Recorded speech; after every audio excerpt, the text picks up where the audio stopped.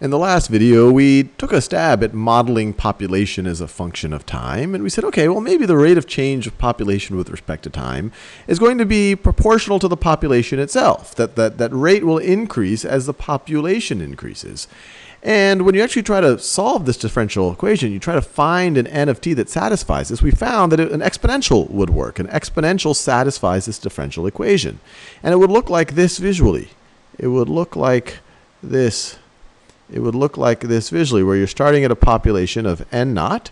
This is the time axis. This is the population axis. And as time increases, population increases exponentially.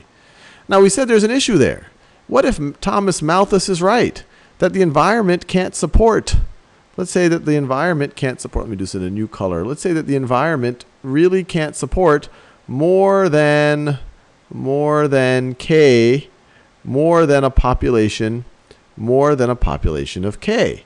Then clearly the population can't just go and go right through the ceiling. They're not going to be able to have food or water or resources or whatever it might be. They might generate too much pollution. Who knows what it might be? And so this this this this first stab at, at modeling population doesn't quite do the trick, especially if you are kind of in Malthus's camp. And that's where PF, and once again, I'm sure I'm mispronouncing the name, Verhulst, is going to come into the picture because he read Malthus's work and said, well, yeah, I think I think I can do a pretty good job of modeling the type of behavior that Malthus is talking about. And he says, you know what we really want, what we really want is is something, let me write it. So the rate, let's try to model. Let's set up another differential equation. Let's set up another differential equation. And now let's say, okay, instead of, you know, if, if the, if, if, if n is substantially smaller than what the environment can support, then yeah, that makes sense to have exponential growth. That makes sense to have exponential growth. But maybe we can dampen this, or maybe we can bring this growth to zero as n approaches, as n approaches k. And so how can we actually modify this? Maybe we can multiply it by something that for when n is small, when n is much smaller than k, this term right over here is going to be close to 1. And when n is close to k, this term is equal is close to 0. So let me write that. When n so this is our these are our goals for this term right over here. When n n is much smaller, so much smaller, much smaller than than k, so now the population is not constrained at all. People can have babies, and those babies can be fed, and then they can have babies, et cetera, et cetera. Then this thing should be should be close to should be close to one, and so then you have essentially our old model.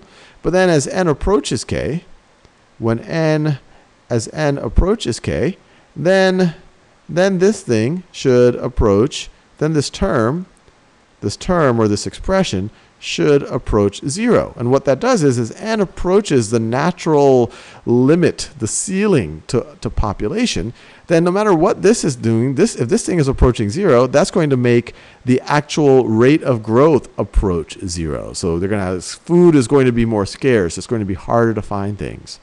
And so what what what can I construct here dealing with n and k that will have these properties? And if you're, if for fun, you might actually want to pause the video and see if you can construct a fairly simple algebraic statement using n and k and maybe the number one if, if you find the need uh, to, to, for an expression that has these properties.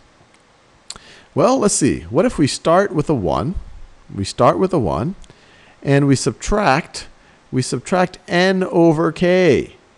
We subtract n over, over, my k is in pink, over k. Does this have those properties?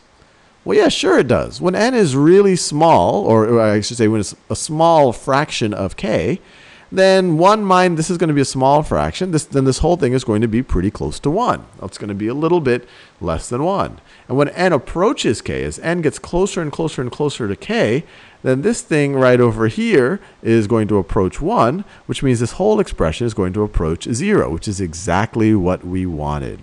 And this thing right over here is actually, and this this is used in tons of applications, not just not just in population modeling, but that's kind of one of its first its first uh, kind of reasons or motivations. This differential equation right over here is actually quite famous. It's called the logistic differential equation. Logistic differential equation. Logistic differential differential equation. And in the next video, we're actually going to solve this. And it's actually a, this is a separable differential equation. You could, you can actually solve it just using standard techniques of integration. It's a little bit hairier than this one, so we're going to work through it together. And we're going to look at the solution. The solution to the lo logistic differential equation is a logistic, sometimes the logistic, well, the logistic function which once again is really is essentially models population in this way. But before we actually solve for it, let's just try to interpret this differential equation and, and, and think about what the shape of this function might look like. And to do that, to do that, actually, let me, let me get, actually, can, it's nice to see the faces. So let me draw, let me draw some axes here. Let me draw some axes here. So that's my time axis. That is my population axis. Let me scroll up a little bit because sometimes the subtitles show up around here and then people can't see what's going on. So let's think about a couple of permutations, a couple of situations. So if our initial, if our initial, if our if our n at time equals zero, remember n is a function of t. If at time equals zero, n is equal to zero. So if n is equal to zero, then this term is going to be zero, and then your rate of change is going to be zero, and so you're not going to add any population, and that's good. Because if your population is zero, how are you going to actually be able to add population? There's no one there to have children. So there's actually one constant solution to this differential equation, which is just n of t, that is n of t is equal to zero. And that's neat that this satisfies the logistic differential equation. Hey, if your population starts at zero, if n sub naught is zero, then you're just going to be at zero forever. Well, that, that's actually what would happen in, in, in real life. There's no one there to have kids. Now let's think about another situation. What if our population, what if n naught is equal to k? What happens if n naught is equal to what happens if n naught is equal so that's k right over there. What happens if at time equals 0 this is our population. Well if n is equal to k then this is 1 minus 1 then this thing is 0 and so our rate of population change is going to be 0 so essentially if my population is 0 then after a little bit of time my population is still the same k. Uh, if my rate of change of population is 0 that means my population is staying constant. And so my population is just going to stay there at K. And that's actually believable. Malthus would actually probably say that you're going to have, you know, maybe it grows a little bit beyond the capacity of the of the environment, and then you have some, you know, some some flood or some hurricane or some famine, and it goes around. But for our purposes, you can never model anything perfectly. For our purposes, that's that's pretty good. You know, you're you're at the limit of what the populate of what the environment can handle, so you just kind of stay there. So these, that's actually another constant solution. That n of t, if it starts if it starts. And now you can kind of appreciate why initial conditions are important. If you start at zero, you're going to stay at zero. If you start at k, you're going to stay at k. So that is n of t just stays at k. But now let's think of a, a more interesting scenario. Let's assume an uh, let's assume an initial population that's someplace between zero and k. So this is going to be this is going to be I'm going to assume initial population that is someplace it's greater than zero. So there are people to actually have children and it is less than k. So we aren't fully maxing out the environment or the land or the food or the water or whatever it might be. So what's going to happen? So, and once again, I'm just going to kind of sketch it, and then we're going to actually solve it in the next video.